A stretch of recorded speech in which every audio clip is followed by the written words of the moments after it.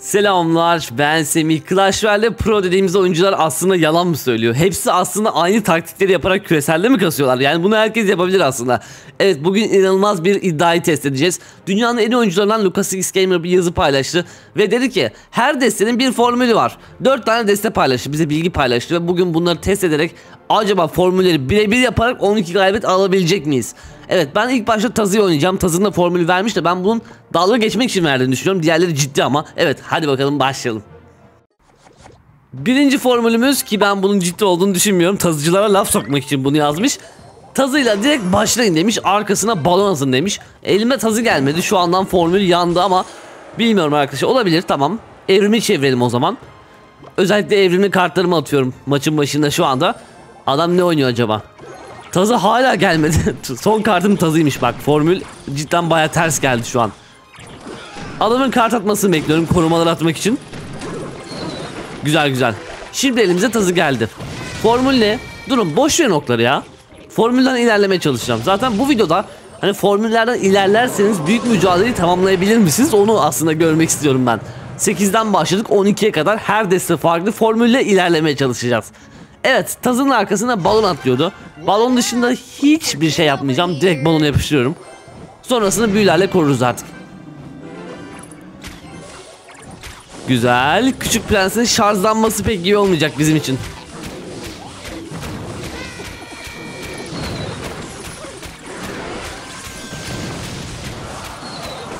O yarasalar patlarsa çok iyi olur. Güzel güzel. Küçük prensin ölmemesi bir yandan iyi oldu biliyor musunuz?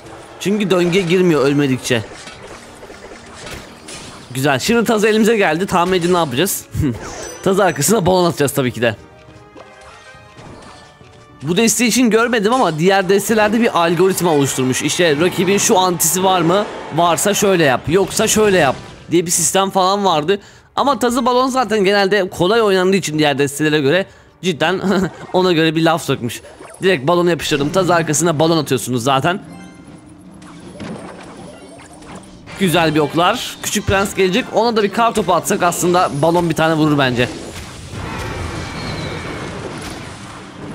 Çok iyi savundu. Ya bence bu formül yanlış arkadaşlar. En azından başlangıç elinden yakalamaktan bahsediyordu bence o. Hani ilk başta tazat derken bence onu kastediyordu. Ama ben yenmeye çalışacağım her şeye rağmen. Umarım comeback atabiliriz. Ama buradan çevirmek cidden çok zor hani artık.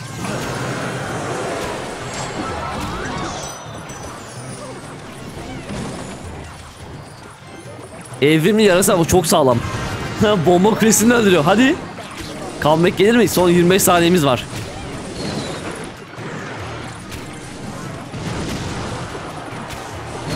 Barbar bastım sırf bomba kulesi eline değil diye.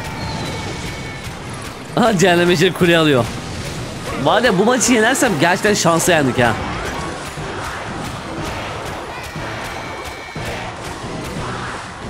Güzel güzel. Tazı balon yapacağım diye baya kötü oynadık ama olsun arkadaşlar.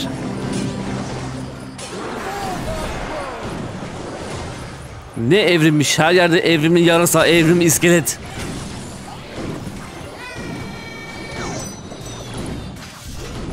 Tazı atmak istiyorum ama tazıyı şimdi ne zaman attığımız da önemli. Adam saldıracak bence o yüzden korumalar attım önce. Tamam tazıyı böyle sola doğru atarsanız sağa dönüyor.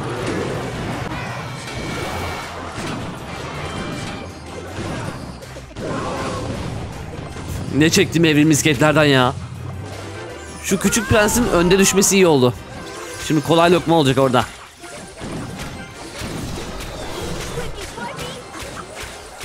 Aha. Şu an yakalayabiliriz. Yenersem şansa yendim. Güzel vurduk. Adam da güzel vurdu ama. Buradan vermek istemiyorum. Çok başa baş. Çok güzel korumalar. Her şeyi öldürdü. Taz atmıyorum saldıracak diye.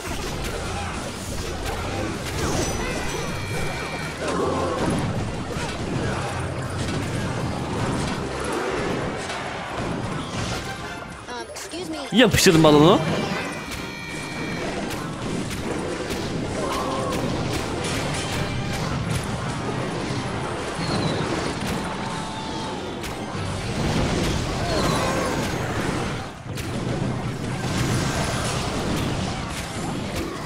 Yok artık. Yendik ama bu tespiti kesinlikle onaylamıyorum arkadaşlar. Evet ikinci maçımızdayız. Arkadaşlar olaya gelin. Şu an bu destenin formülü şu. Direkt başlayın. Bütün iksirinizi atakta kullanın. Sonra adamın kartları biriktiğinde atıcı atıp hepsini savunun. Sonra bunu 5 dakika boyunca tekrarlayın. Şu an bütün iksirimi atakta kullanıyorum. Adamın yazdığını ekrana koyarım. Siz de isterseniz durdurup okursunuz arkadaşlar. Ben bu formülün gerçek olduğuna inanıyorum çünkü herkes bunu yapıyordu bana karşı dev mezarlık oynayan.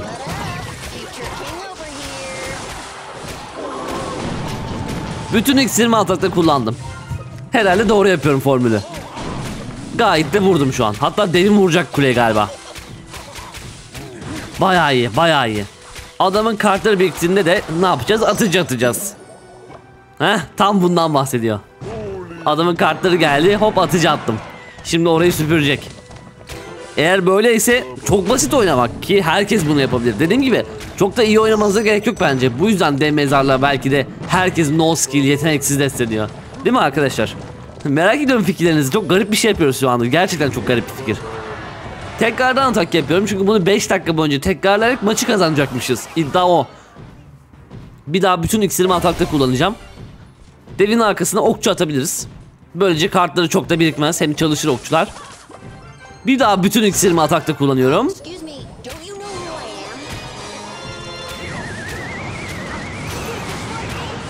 Oraya kartopu atayım da bari en azından atıcımız çevrilsin. Biliyorsunuz defansı tamamen atıcıya bırakıyoruz.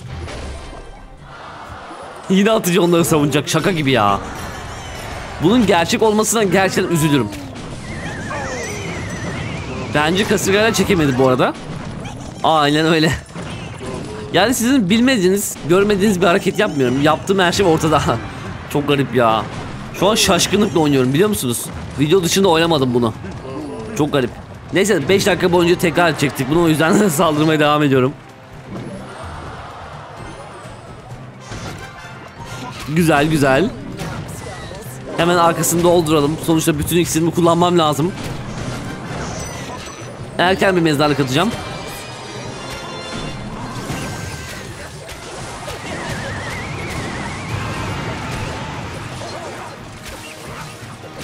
Tekrar atak yapalım çünkü atıca gerek kalmadı. Adamın kartları birikmedi bile. Şuna bakar mısınız adamın kulesinin yarısı gitti bile. Şu an cidden hayretle oynuyorum. Yine bütün iksirimi atakta kullanayım bari. Aha roket attı. Ama bana ne yani.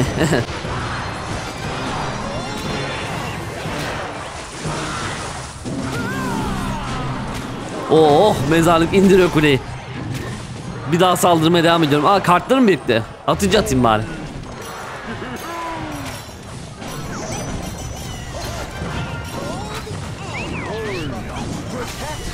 Kulemizin canı çok diye orada evrimli havana biraz izin verdim kuleme vurmasına. Ama maçı alacak kadar vurmadı. Şimdi mezarlığı yapıştıracağız. Umarım maç burada biter. Hiç düşünmeden, beynimi hiç yormadan bu galibiyeti almak beni çok mutlu eder. Evet arkadaşlar, yok vurmadı. Şimdi vuruyor mezarlık. Evet, sıradaki formüle çok şaşıracaksınız. İyi oyundu. Clash Royale oynayarak para kazanmak istiyorsanız Gamer Arena sitesi tam size göre. Bu sitede siz vs atıyorsunuz ve aldığınız dereceye göre sizi bir sıralamaya sokuyor. Ve bu sıralama üzerinden gerçek para kazanabiliyorsunuz. Şu anda sitede sıralama bu şekilde arkadaşlar. Peki nasıl oynuyorsunuz? Kocaman oyna butonu var aşağıda. Ona basıyorum. Sonra Clash Royale seçiyorum ve Duello Bull'a tıklıyorum. Sonrasında beni gerçek bir oyuncuyla eşleştiriyor ve chat üzerinden birbirimize ekliyoruz arkadaşlık isteği göndererek. Sonrasında maçın sonucunda siteye giriyoruz ve bu şekilde maçımız sonlandırılmış oluyor. Ve bu şekilde sıralama elde ettiğimizde GAU token kazanıyoruz. Mesela benim 5400 GAU tokenim var ve bu şekilde 270 lira hemen çekebiliyorum. Evet siz de eğer iyi oynuyorsanız veya çok oynuyorsanız Gamer Arena sitesinde mutlaka para kazanabilirsiniz. Açıklamada Gamer Arena'nın linki var arkadaşlar. Evet isterseniz gidebilirsiniz. Biz de videomuza devam edelim. Evet bu videoda test ettiğimiz Lucas'ın tespitlerine baktığımızda hakikaten bunların bana yapıldığını fark ettim. Bu deste stratejimiz şu. Destemizdeki bütün kartlar oyunun en güçlü kartları olduğu için Küçük Prens, Zehir, Madenci, Tomruk e, bunları sürekli kullanıp artık maçı sabote ediyorsunuz. Sonra 3 kat eksiri geldiğinde ne yapıyormuşsunuz biliyor musunuz? Arkadan Küçük Prens atıyormuşsunuz. Zehir atıp madenci atıp Ven şeması çiziyormuşsunuz. Venn şemasını biliyorsunuz matematikteki. Öyle bir espri bile katmış yani. Ben ekrana koyarım arkadaşlar siz okuyun. Bu arada bu bahsettiği taktikte arkadan küçük prens atmamızın sebebi 3 kart döngümüzü açmamız. Böylece sadece madeni spamlayabiliyoruz. E tabi bunu 3 kat ikisi de yapacağız. O yüzden şu an yapamıyoruz o dediğim taktiği. Şu an güçlü olan kartları kullanarak maçı sabote etmek diyor. Şu an yaptığımı yani. Yaptığımı söylüyor. Balıkçı da şövalyeyi çekerse özelliğimizi çekemesin diye double şövalye yaptım orada. O keşiş ne öyle ya? Evet çok pis kart biriktirdik şu anda. Bayağı agresif oynadı keşişle. Bazı arkadaşlar da keşişi bayağı övüyor ama çok pahalı arkadaşlar. Şu an senaryoda yaşandığı gibi sıkıntılar başınıza gelebilir. Keşiş oynarsanız. Çok güzel vuruyor koruyucu ama fazla vurmasın bak. Ben şaması çi- çizmek istiyorum adamın sahasında kulesinde. O yüzden umarım maç erken bitmez yani. Bu arada arkadaşlar video beğeni hatırlatması yapmayı unuttum. O kadar emek veriyorum. Umarım beğenebilirsiniz yani. Bir saniyenizi ayırıp şimdiden teşekkür ederim. Evet. Gene geldi keşiş. Bak mesela böyle keşiş de arkadan çıksa o kadar da hani iksirsiz yakalanmazdı. Küçük prensimi atamıyorum çünkü keşişin özelliği var bayağı tehlikeli. Madenciyle arkaya doğru çekelim de tanklayamasın diyecektim. Kraliyet dev atmadı. Adam çok fena fake yedi orada balıkçı attı. Hemen zehirle faydalanalım. 3 kat iksire gelmeye çalışıyorum bir yandan arkadaşlar. O dediği taktiği yapabilmek için. Ama bu adam erken gidecek ya. Keşke böyle bir yapabilseydim o taktiği. Vur madenci vuramadı. İyi vurmaması iyi oldu. Ben şeması çizmek istiyorum. Hayır evrim misketler yakaladı onu. Arkadaşlar bu tespiti tam olarak galiba gerçekleştiremeyeceğim. Ama siz formülün ne olduğunu anladınız. İnanmıyorum ya. Keşke biraz da böyle sağlam bir adam gelseydi de. Ah be. Bu arada arkadaşlar final maçına gideceğiz. Büyük mücadele. Yenersem de artık sandığı açacağız. Siz anladınız taktiği arkadaşlar. Diğer maçımıza geçelim. Hazır mısınız arkadaşlar? Benim ana destemin formülünü vermiş. Bu adam niye vibe ediyor? Beni mi tanıdı acaba? Şöyle emojimizi yollayalım. Ben şunu söyleyeyim. Ben bu desteği oynarken öyle belli bir formüle göre oynamıyorum. Lucas'ın verdiği gibi. Ama çalışacak mı merak ediyorum. Çünkü bu videodaki taktikler çalışırsa bunu herkes yapıp da büyük mücadele tamamlayabilir. Çünkü ben şu anda bunu yaparak tamamlıyorum. Diyor ki ya Lucas benim desteğimi oynarken rakibin mezarla güzel bir cevabı var mı? Yoksa maç boyu mezarlık at diyor. Çok güzel bir aktivasyon yaptık. Adamın mezarla güzel bir antisi var mı? O zaman sadece defans yap. 3 kat iksirde mezarlık zehir spamla. Evet zaten ben size taktiği koyarım arkadaşlar okursunuz durdurup. Şimdi adamın mezarlı antisi olmadığını gördüm çünkü isketlerle oynuyor logbait'i. Bu demek oluyor ki sürekli mezarlık atacağız. Yo varmış. İskeletle çete aynı anda desin olur mu ya? Tamam o zaman algoritmanın diğer kısmına geçiyoruz. Mezarlı antisi var o zaman sadece savun. 3 kat ikisi de mezarlık zehir spamla. Vay be. Ama böyle genel bir kavrama bağlı olmak bence çok da iyi değil ama hani kötü bir oyuncuysanız veya pro olmaya çalışıyorsanız bence bu genellemeler çok iyi sizin için. Ben öyle düşünüyorum arkadaşlar. Evet hadi bakalım. Şimdi savunmaya devam. Madem algoritmaya güvenmemiz gerekiyor o zaman hasar almadan oynamaya çalışacağım.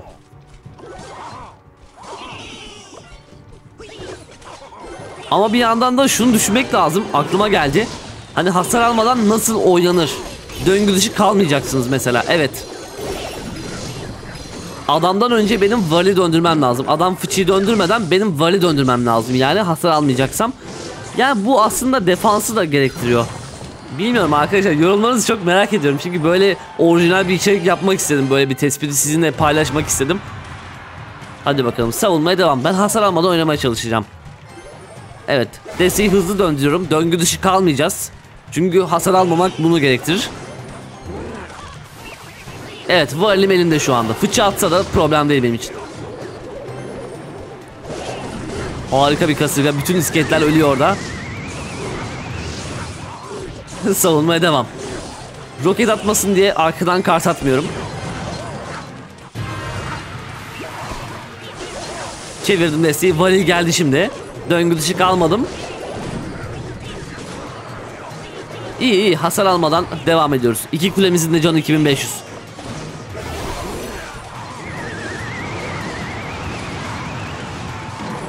Varili hızlı çevirmeye çalışacağım. Geldi varilimiz. Arkadaşlar bu arada şunu söyleyeyim ben mezarlığın çok toksik olduğunu düşünüyorum. Çünkü rakibi hiçbir şekilde vurdurtmuyorsunuz. Belki de bunun sistemi buradan geliyor. Lucas'ın tespitinden. Hadi artık 3 kat isir gelsin de cidden sabır istiyor yani.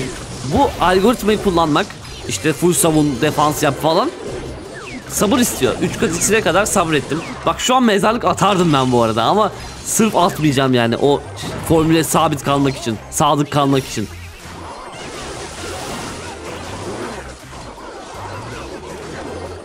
Eyvah döngü dışı kaldık ama hasar almayalım. Güzel. Burada mezarlık atılmazdı mesela.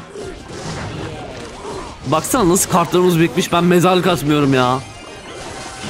Bu kadar da katı bağlanmamak lazım ama bağlanmak lazım bence bu formüle. Dev mezarlık oynarken formülün bu kadar tutmasını beklemiyordum açıkçası. Evet hazır mısınız? 3 kat iksir geldi. Neydi? 3 kat iksirde mezarlık zehir spamla. Başlıyorum. Oh benim vaktim geldi. Hemen desteği döndürüp bir daha mezarlık zehir yapacağım.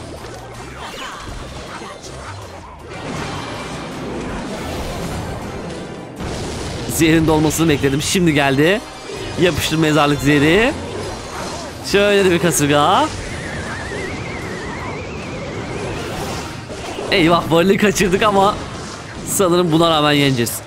Hani iyi de oynamadım arkadaşlar. Hani full formüle oynayacağım diye böyle lay lay lom oynadım ama hani biraz sallayarak oynadım. Yine de kazandık arkadaşlar. Ben böyle oynayıp kazandıysam siz de yapabilirsiniz bence. Evet geldik şimdi ödül kısmına 12 galibiyet sandığı. Tespitler hakkında konuşayım. Bence tespitler doğru, acı gerçekler. Ama tam olarak doğru değil. Yani bunun içinde bir sürü etmen var. Defanstan tutun diğer şeye kadar. Ama genel olarak bence doğru arkadaşlar. Evet umarım video hoşunuza gitmiştir. Yarın tekrardan 17'de görüşmek üzere. Kendinize iyi bakın. Hoşçakalın bay bay.